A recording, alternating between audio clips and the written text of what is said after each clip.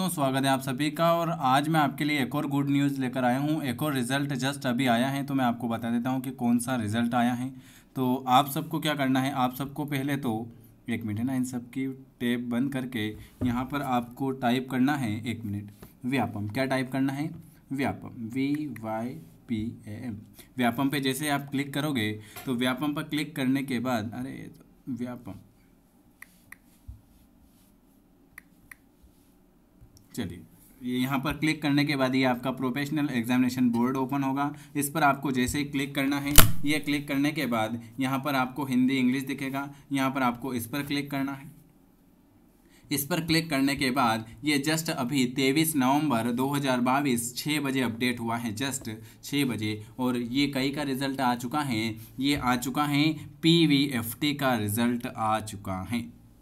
पीवीएफटी का रिज़ल्ट आ चुका है आपके लिए। अभी जस्ट इसके बाद आरक्षण जीडी के अंतर्गत ये Madhya Pradesh M online government जाकर ये इनके आरक्षक का आया है। Online group two online answer का option group three test admit card group five online form और ऑनलाइन फॉर्म ठीक है तो अभी जो PVFT का रिज़ल्ट आया है, उसके बाद जिनकी एमपी पुलिस की हुई थी, उनका वो लेटर आया है।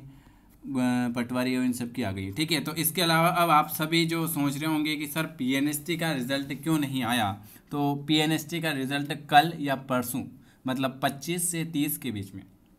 आज तेईस हो गई ना, चौबीस से तीस के बीच में आपके पास आपके पीएनएसटी का रिज़ल्ट भी आ जाएगा एमपी पीएनएसटी का। टेंशन मत लो कि नहीं आएगा। पीएनएसटी का रिज़ल्ट एक दो दिन लेट हो चुका है, लेकिन आएगा ज़रूर। इसके अलावा आपको कोई भी दिक्कत आ रही हो तो आप मुझे इस नंबर पर व्हाट्सअप कर सकते हैं। हमारी डेली की डेली क्लासें चल रही हैं। अगर किसी को क्लास में ऐड होना है तो आप हमसे ऐड हो सकते हैं।